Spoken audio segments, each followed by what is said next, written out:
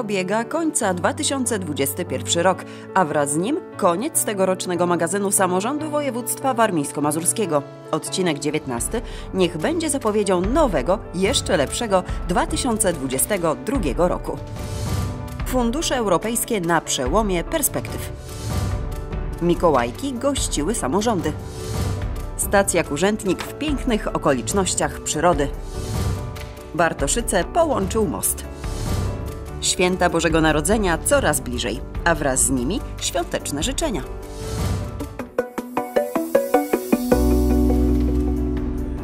Fundusze Europejskie na przełomie perspektyw. Pod takim właśnie hasłem odbyła się konferencja.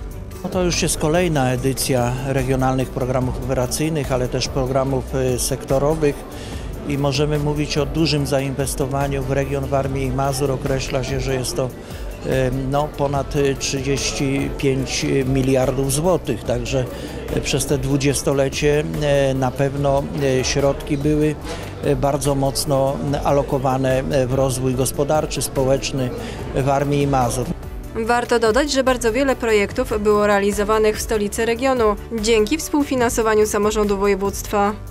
Bo przecież powstała nasza pływalnia, E, która służy już od 2012 roku naszym mieszkańcom i przede wszystkim sportowcom. Znakomite zawody, które się odbywają, Mistrzostwa Polski. W konferencji udział wziął również profesor Jerzy Buzek, przewodniczący Parlamentu Europejskiego, który wygłosił prelekcję pod tytułem Szanse czy zagrożenia? Warmia i Mazury z perspektywy Brukseli. Polska samorządowa jest dźwignią naszego rozwoju. Samorządy dzisiaj inwestują najwięcej w skali kraju tak? A więc to jest inwestor numer jeden, dlatego to o czym mówimy. E, I tytuł Fundusze na zmiany idealnie odpowiada temu, czego oczekujemy. Bo czy ta zmiana jest konieczna? Przecież jest pięknie w Waszym regionie. Są miejsca pracy, chociaż przydałoby się oczywiście więcej i musi być więcej. Warmia i Mazury to region ambitny, rozwijający się, który po raz kolejny w 100% wykorzystuje środki z Unii Europejskiej i przygotowuje się też do następnej perspektywy. Wśród priorytetów na lata 2021-2027 jest m.in. walka z ubóstwem, bezrobociem oraz wykluczeniem komunikacyjnym.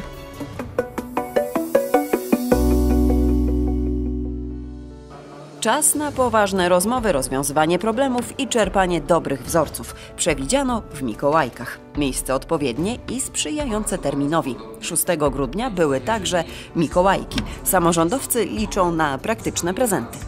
Chcielibyśmy, żeby to już miało miejsce w tym roku, tak żebyśmy mogli od początku następnego roku e, przystąpić do negocjacji e, Bruksela, zarząd województwa.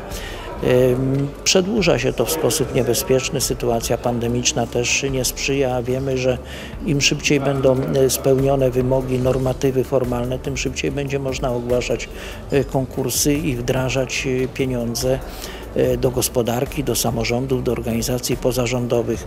Szósty Europejski Kongres Samorządów poruszył wiele trudnych zagadnień, ale to te dwa były najważniejsze. Czyli najpierw przyszłość idei decentralizacji, rozmowa o przyszłości samorządu w Europie, a później albo równolegle obok tego rozmowa o Polskim Ładzie, bo, bo to są ogromne pieniądze, które w tej chwili wydawane są z budżetu e, państwa. Skupiając wokół siebie wielu kolegów samorządowców, omówienie tematów wydaje się jakby owocniejsze.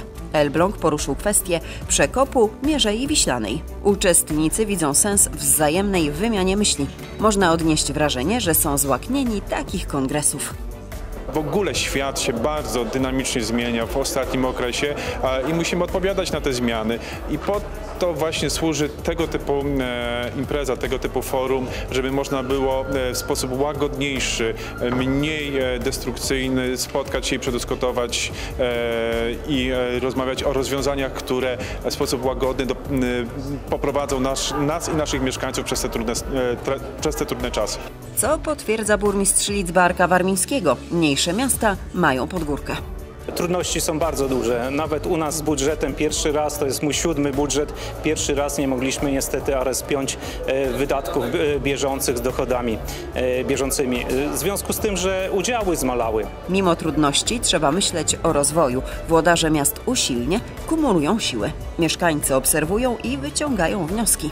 Wybrałem panel, który jest ściśle związany z samorządem terytorialnym, z kwestiami Polskiego Ładu, bo właśnie Morągowo uzyskało takie dofinansowanie, między innymi na e, zadaszenie widowni amfiteatru. Tak jak wiadomo, Morągowo e, jest znane przede wszystkim z tych ogromnych festiwali, największych w Polsce, jeżeli chodzi o e, festiwale transmitowane na żywo w różnych telewizjach.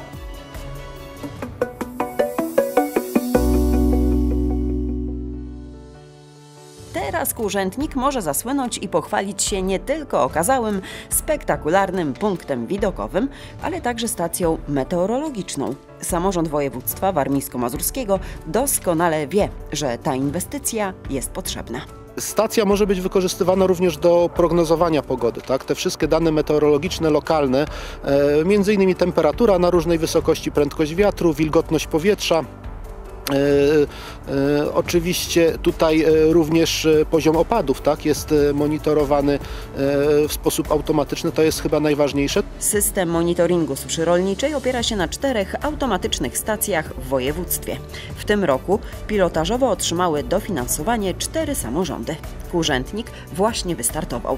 Faktycznie w tym roku e, rozpoczęliśmy e, nową możliwość dofinansowania, nowe granty, a mianowicie chcemy, żeby w każdym powiecie była e, stacja meteorologiczna, przynajmniej jedna, nowoczesna, już bardzo zatestowana i w systemie ogólnokrajowym funkcjonująca. Stacje przesyłają dane do systemu monitorowania suszy rolniczej Instytutu Uprawy Nawożenia i Gleboznawstwa w Puławach.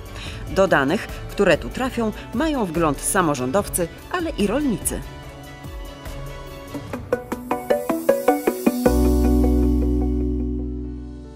Do typowo wakacyjnej pogody jeszcze musimy poczekać, ale ten grudniowy dzień zostanie na długie lata zapamiętany. W Bartoszycach w końcu koniec starań o most.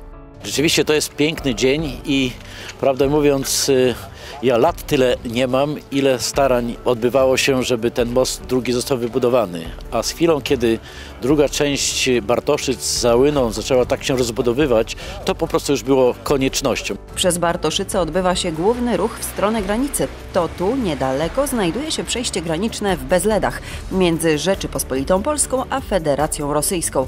Przeprawa mostowa przez rzekę Łynę kosztowała ponad 51 milionów złotych. Przyczyniła się ta możliwość właśnie w ramach realizacji programu Polska-Rosja i e, to jest też bardzo istotna kwestia, ponieważ e, trzeba mieć partnerstwo. Bartoszyce mają partnerstwo z miastem e, Gusiew. Inwestycja została wykonana 4 miesiące przed terminem. Było to możliwe dzięki dobrej współpracy. Samo zadanie nie należało do prostych. Prace 7 metrów nad lustrem wody wymagają precyzji i dokładności. Inwestycja mostowa, czyli sam obiekt, y, jest to najdłuższy obiekt y, w tym momencie tutaj w obrębie Bartoszyc. Jest to ponad 100 metrów. Są to cztery przęsła, obejmuje cały teren zalewowy wraz z rzeką.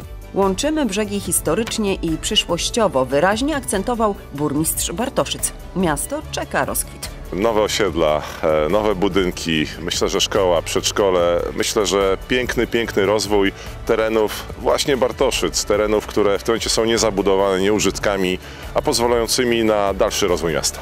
Można spodziewać się dalszych działań ze strony obu państw. Urząd Marszałkowski w Olsztynie widzi potencjał we wzajemnych relacjach.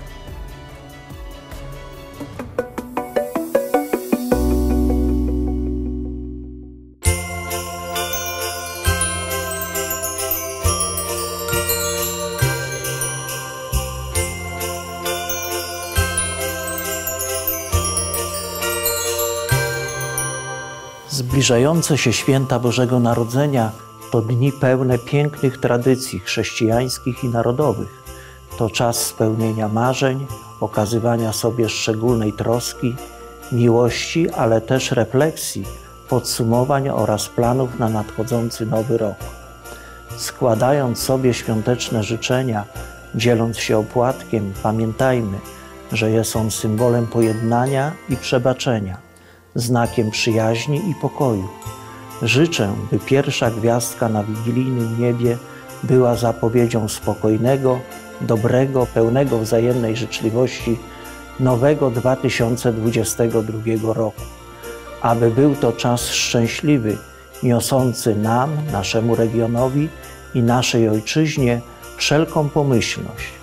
Niech wreszcie wróci do nas normalność, a zdrowie nigdy nie opuszcza. Wesołych, zdrowych świąt Bożego Narodzenia, szczęśliwego Nowego Roku.